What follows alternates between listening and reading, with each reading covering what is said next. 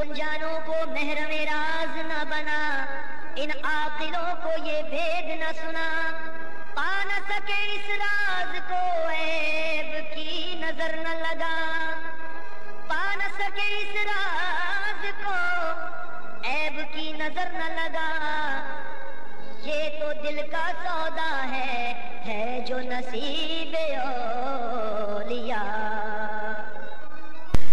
University के खिताब के बाद वापसी में सरकार ने बाई रोड सफ़र को तरजीह दी। इस तवील सफ़र के दौरान रास्ते में एक जंगल से गुजर हुआ, जहाँ आज़ाद बेशुमार जानवर, हिरन, जंगली भैंसे, बारह सिंगे वगैरह रास्ते में नज़र आए। हम सबने ये महसूस किया कि हर जानवर का रुख सरकार की गाड़ी की तरफ़ ही था। वहाँ के मकामी साथियों का ये कहना था कि कभी भी ऐसा नहीं हुआ कि इस जंगल का हर जानवर रास्ते में इस तरह खड़ा नज़र आए। ऐसा महसूस होता है कि सरकार की आमद की वजह से शायद अल्लाह ने हमें तफरी और इन जानवरों को सादत का मौका अता किया।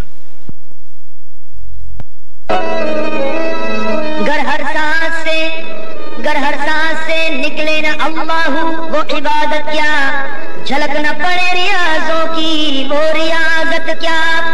घसीटता रहे नफ्स दुनिया में, वो आदमियत क्या? बसा न सके घर दिल पे काबा, वो इंसानियत क्या? बस जाए जिस दिल में काबा, वही मलाइकों की सजदागाह है।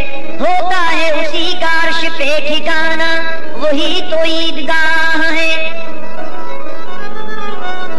उसी की जुम्बिश से हिलता है अर्श मोल्ला वही असरार आगाह है। जिसने पाया करना ये रुतबा, वही खाम निगाह है।